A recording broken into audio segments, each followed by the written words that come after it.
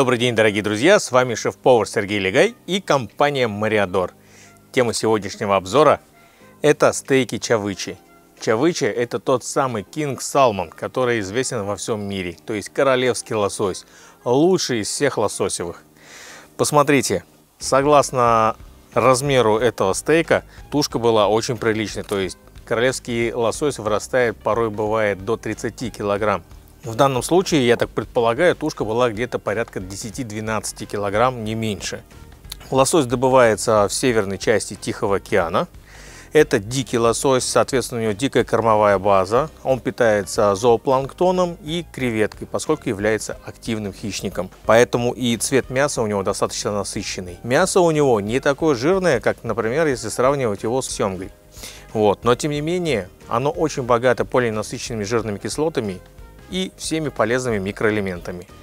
Годится для диетического питания, потому что содержит не так много жиров, но максимум всего полезного, что дала природа. Сама чавыча, конечно же, у нас очень большая рыба, и порой бывает не очень удобно с ней работать, поэтому компания Мариадор готовит вот такие замечательные стейки.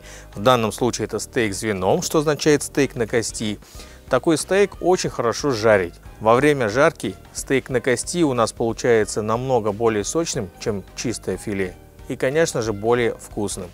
Ведь если сравнить с обычным мясом, мясо на кости тоже получается намного интересней. У этих стейков очень хорошая калибровка. Это 250-300 грамм за один стейк. В одной упаковке, как правило, бывает 3 стейка.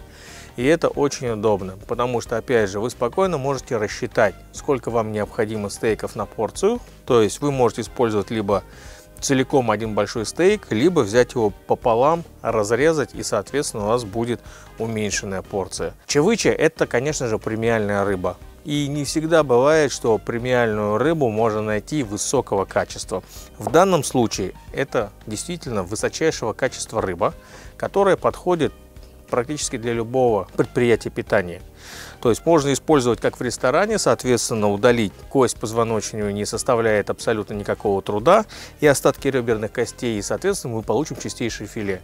Но при этом мы не будем размораживать целую рыбу, чтобы не терять в качестве по всем остальным частям. Кроме того, мы можем позволить себе и в среднеценовом кафе использовать эту рыбу, потому что у нас уже фиксированная цена то есть у нас нет никаких ненужных частей, которые подлежат удалению, такие как кости, плавники, голова, которые, соответственно, увеличивают себестоимость.